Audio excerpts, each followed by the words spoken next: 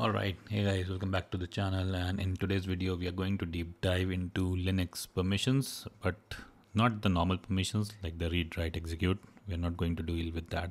We are going to deal with the Linux special permissions, the setuid, setgid, and the sticky bits. This is like one of the favorite questions of many interviewers when they are interviewing for any position, be it SRE, DevOps, Linux system administrator. So this is one question which features a lot so, I mean, permissions, if we know, it's like who can do what, right? But what is SUID and SGID and what is so special about them? So let's talk about SUID first. So SUID actually lets you execute a file as the owner of the file. So the best example for SUID is the passwd command. So if I just do an ls hyphen l on user bin passwd. So you can see that over here there is an S in the permission, right? So what this means that anybody who is executing this passwd command will have the power of the root user will execute this file as a root user and that is the reason you are able to actually modify your password using passwd command because if you see uh, the permissions for uh, etc passwd file. So you can see no other user has the right permission right? The group and the others have don't have the right permission. So only the user which is root has the right permission. And that is why because you are executing this command as root you are able to modify this etc passwd and modify your password. So that's a very good example uh, for etc passwd now how do you set an suid on any file? So let me clear the screen and i'll just create an example file right? So there are multiple ways. So the first way is obviously you will have to use chmod and you can do u plus s example file and you can set this. And now if you do ls hyphen lrt you can see oh god what is this? We have a capital s and not the small s. So what is this? What's the difference between a capital s and a small s? So capital s represents that the file which which we where we are setting the SUID does not have execute permission and we can see that this file does not have an execute permission. So if you want to fix this, you can just simply go to mod plus x an example file. And now if you do ls hyphen lrt, you can see it has gone back to small s like, all right. So this is one way. And then there is a numerical notation also that which way you can fix. So let's just touch another example. And now if I do chmod so again SUID SGID and uh, sticky bit. The total of the numerical total of these uh, permissions is 7 so SUID is 4 SGID is 2 and sticky bit is 1 right? So if you do 4 and if I want to say 6 or 755 for another example. Now if I do ls-lrt you can see we have SUID all right set for the another another example file. All right let me clear the screen and let me just get rid of these files because example file and another example.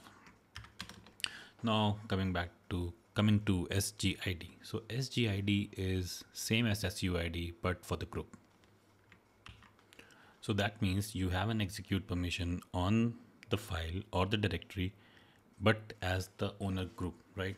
Not the user, but the group, because this is SGID. Uh, a good example for this is ls-ld if I do var mail. So this directory you can see has an SGID set. So anybody who is actually going to execute something within this directory will get the permissions of the mail group because this is this is the user and this is the group. So you will have access to this directory as the mail group right? And any file you create under the var mail will also get the ownership of the sgid and not the user who's executing the group. So this is a little confusing but suppose you are a user and you have the group suppose you're a part of the group or your group is a your name. Because when you create a user you create a group also with your name right? But if you create any file within var mail that file will not get that group but instead it will get this group the mail group right? And i can prove that also. If i touch var mail and i say my mail and if i just do ls-lrt on var mail so you can see my mail has the group mail and not my group right? It's not my group. Okay. All right so let me clear the screen. And now let's come to sticky bits. So sticky bits are they're unlike uh, SUID and SGID no before coming to sticky bits I have to show you how you set SUID and SGID it's the same way. So chmod instead of u plus s you can you have to do g plus s and then you have to give the directory name.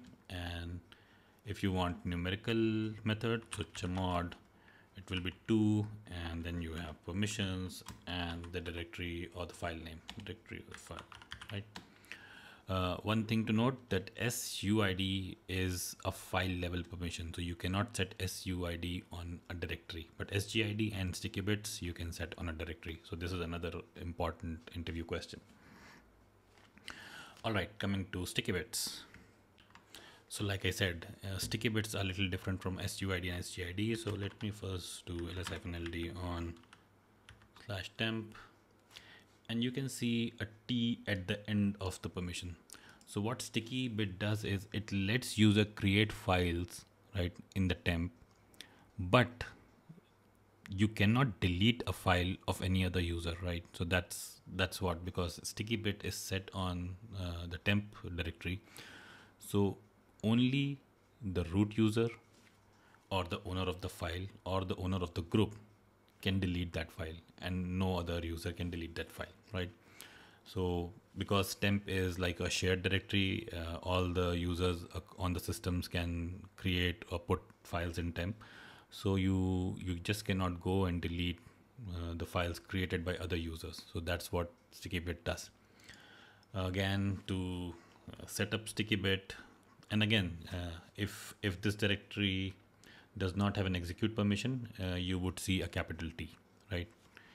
So, and sticky bit is again a directory and a file level permission. So it's not like that you cannot put sticky bit on file or directory. You can put it on both, but SUID is the only thing which can you can put on a file and not on a directory. All right, and let's see how you uh, put uh, basically how you set uh, sticky bits. So let me just create example file and I'll just do chmod. So it will be o plus t example file. So this would have a capital T because this file does not have any execute permission right? And if I want to do numerical method to set sticky bit so I would just touch another example. And chmod 1755 and this has a small t because this has an execute permission. All right. Okay so that's all i wanted to cover for this video. I hope you guys found this video interesting and useful and you learned something new today and yeah please do subscribe to the channel before leaving. I see a lot of guys watching my videos but not subscribing. So please do that. Thank you for watching. Yeah